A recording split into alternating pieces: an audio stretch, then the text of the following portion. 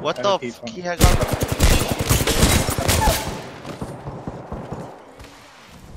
Five bullets left. Put your boat right here.